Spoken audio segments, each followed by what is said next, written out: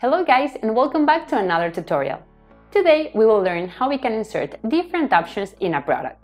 I will use as an example the custom t-shirt we have available in the live demo of our plugin YITH WooCommerce product add-ons and extra options. For this t-shirt, we will add options to allow the users to customize it. For example, select the color, the size, upload an image or a logo.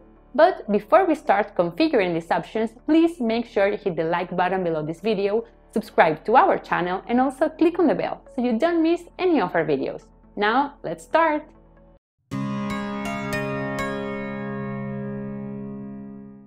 Here we are inside the demo I use for the product add-ons videos. Over here we can see this product, a simple t-shirt. And what I want to show you today is how we can add different options to allow the users to customize it.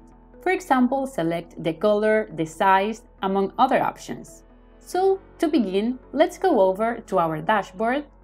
From here, we will find YITH and click on Product Add-ons. Now, what we have to do is add a new block. For that, we go over here and click Add Block. And the first step is to enter the block name. In this case, I will call it simply T-shirt.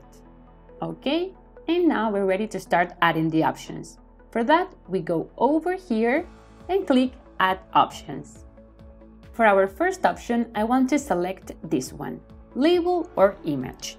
First, I will enter the title. This information will actually help the user identify this option. For that, I want to enter here this, Choose Image. And now I move on so we can start adding the options. In this case, I don't want to add a label, nor a description or a tooltip. The only thing that I want to include here is an image. So I go over here and I enable this option. Now we go over here and I will click Upload and it will open our media library. As you can see, I have already inserted the two images that I need for this option. But if you haven't yet, all we need to do is go over to Upload Files and from here, you can click here, select files, or drag and drop your files right here. Now let's go back to our media and I will select the first option and I click here, choose image. Perfect. Now I will continue and I will do the same for our second option. So I click add a new option and this time I will go directly to add image. I enable it we go over to upload. Now I select the second image and again I click here, choose image. Perfect. Now all we need to do is save. Now before we can go to the demo to have a look, first we need to associate our options with the product. For that we have to go over to rules and from here show this block of options in I'm going to change from all products to specific products and categories. Next, from this field, products to include, we will search for our product, in this case, custom t-shirt. It is this one, so I add it, and these two other options will remain the same. Now I save, and once again, we need to save here our block. Perfect. Now let's go back and have a look. Here we have it. Over here, we can see the first option we created. We have our blue t-shirt and our white t-shirt. However, if we notice, nothing happens when I select the blue t-shirt. I mean, this main product image doesn't change. And I actually want it to change depending on the option that I select right here. So in order to achieve this, we need to go back to our block of options here we need to go inside our option, so I click here, and this time let's go over to the Display Settings tab. In here I want to focus on this option, Product Image Replacing Options. Right now it says don't replace the image, but we do want to replace it, so I will open here and I will select this option, Replace with Options Images. What this means is that the main image will change depending on the option that is selected. Now I will save and let's go back to see the result. I will refresh And now let's try it out. If I select this one, of course, we're going to see a difference because it is the same one, but if I select the blue option, this time we're able to see how the main product image has in fact changed. Now let's continue with our next option. For that, let's go back to our block of options and here let's go one more time to add options. I will click here and again I want to select label or image. For the title, I will enter choose size and we can start configuring our options. In this case, I only want to enter a label. I will begin with the first size, S, and everything else will remain the same. However, it is up to you to decide if you would like to add any additional information, for example, as a tooltip or as a description. To show you an example, only for this option, I will also enter a tooltip. Here, I will enter small. This information will only appear if the user hovers over this option. So we will see that in just one moment. Now, like I mentioned, everything else will remain the same, so let's continue creating all the other options. For that, we go here and click Add a new option.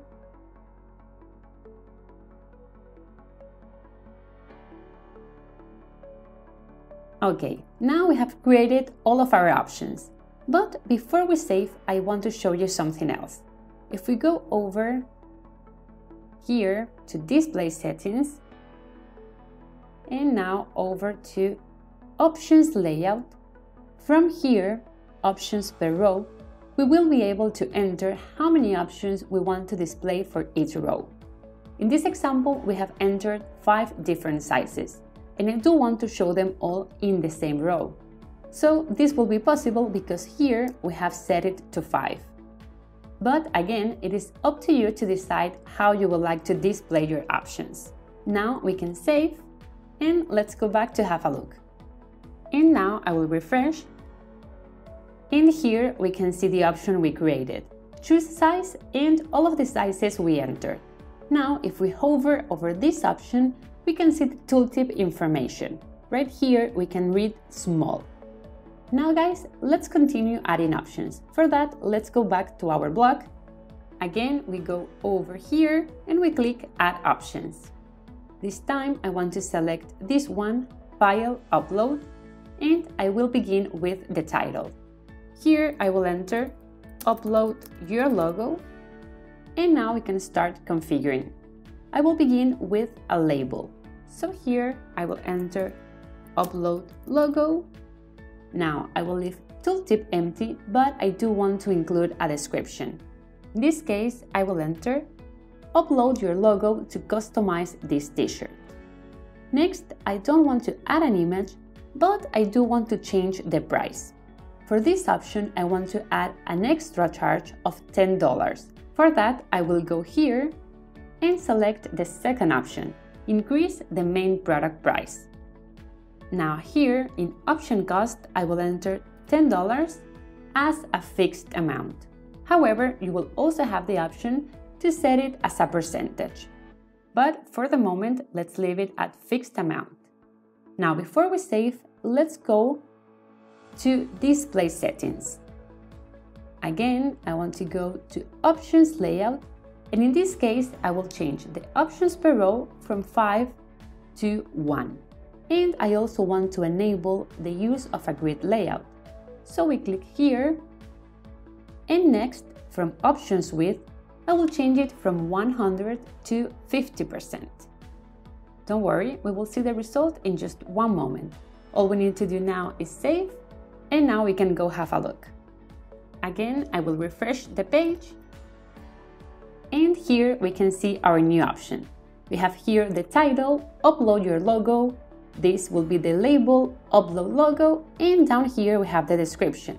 Upload your logo to customize this t-shirt. Also, we can see over here the information regarding the extra charge of $10 for this option. And finally, from this field, you will be able to either click here to upload the file or drag and drop it. Now, let's go one more time to our block of options to add the final option to our product.